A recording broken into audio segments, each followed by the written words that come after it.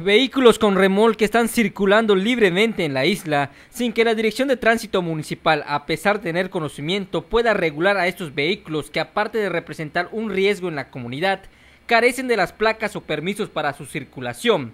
Sin embargo, Betuel Sánchez, subdirector de tránsito, reconoce que a pesar de estar plasmado en el reglamento de tránsito vehicular, ningún propietario de ese tipo de vehículos ha acudido a solicitar los permisos correspondientes.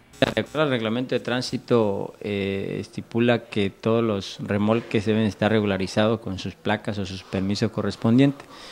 Eh, hasta el momento, la verdad, no ha hecho eh, acto de presencia ninguno de estos, de estos dueños de remolques placados, que son los que en su momento, digo, no son sancionados, más sin embargo, aquellos que no lo tienen, eh, se les ha indicado más de una vez que lo, que lo hagan, ¿no? que acudan.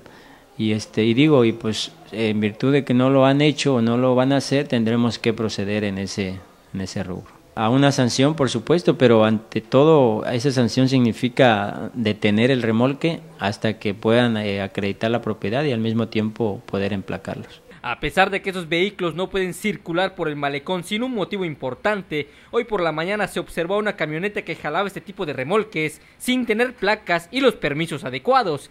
Mira, los vehículos con remolque, dependiendo qué, tengan que traer, ¿no? Sobre todo la mayoría son vehículos que traen eh, remolque con lanchas.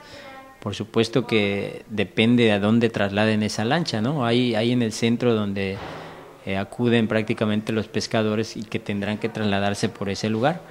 Pero este siempre y cuando no constituya ningún peligro no tenemos ninguna prohibición en el caso del primer cuadro para que circulen. Siempre y cuando te digo no representen ningún peligro y lo hagan en, en horas eh, que no sean eh, muy transitadas. Para Canal 10 informó Jorge Cupul Imágenes Julio May